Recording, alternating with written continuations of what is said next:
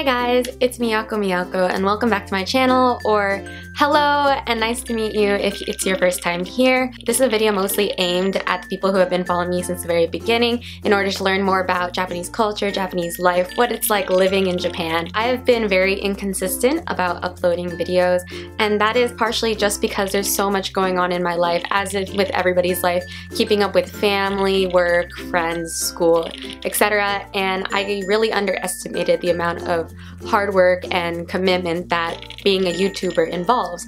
So I think I just really wasn't up for the whole responsibility that came with being a YouTuber. And I just wanted to let you guys know that I have finally graduated Waseda University as of September 15th.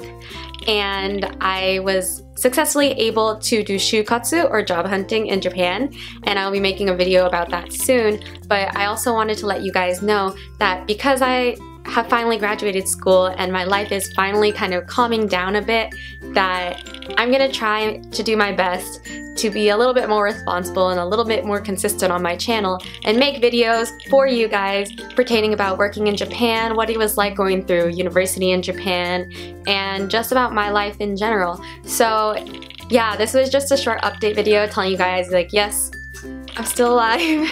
and I just wanted to let you guys know that thank you and I love you so much the people who have been there for me from the beginning. I'm gonna do my best and work hard at, as both a YouTuber and a shakaijin or office worker in Japan and I will keep you guys updated. Love you so much and look forward to the videos coming up. Bye!